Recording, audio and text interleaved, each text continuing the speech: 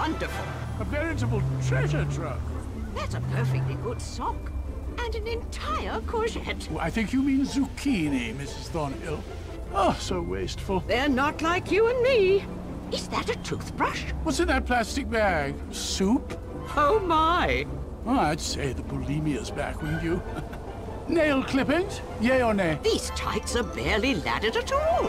What on earth is that? Oh, I think it's Mexican food. So exotic! Prune juice? It really is all the rage. Such fun!